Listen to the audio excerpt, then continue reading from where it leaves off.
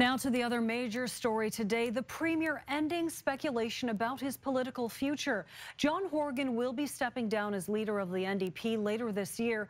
Horgan says he is cancer free, but his health issues have taken a toll on his energy. Our Legislative Bureau Chief Bhinder Sajan joins us live from Victoria. And Bhinder, in his own words, John Horgan says it's time for someone else. Yeah, Nafisa, and we heard over and over again from John Horgan today that he believes that should be someone of a different generation, someone with new ideas to lead the party into the future as John Horgan prepares to say goodbye to politics. John Horgan delivering the news many suspected he won't run again, and later this year, he'll no longer be premier. Thank you so much for giving me this opportunity, British Columbia.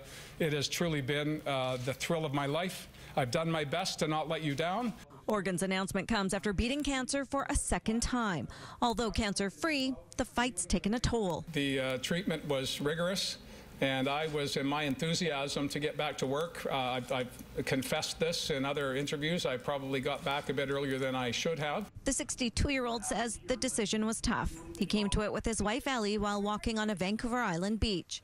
Watching the otters uh, playing uh, just offshore uh, by the hour uh, reminded me that that uh, doing a little bit more playing, a little bit less working is probably not a bad idea. He'll stay in the job until a new leader is chosen this fall, adding it's too soon to speak about high or low points. I'm of the view that I'm still working.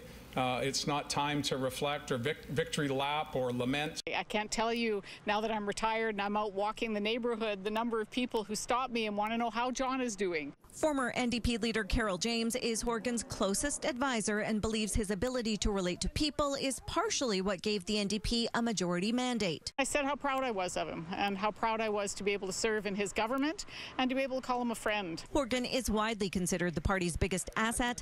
A new leader will need name recognition and the kind of charisma Horgan is known for. Being with him at events. And I would always have someone come up to me and say, it's okay, you can tell the Premier it's time to go home.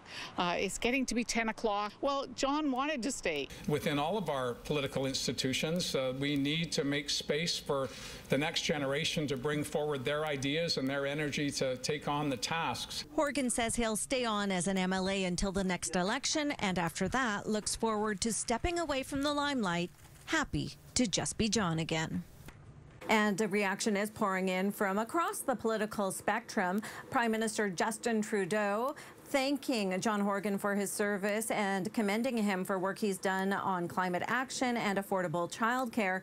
And opposition leader Kevin Falcon also sending his well wishes, ending his tweets with the phrase, live long and prosper.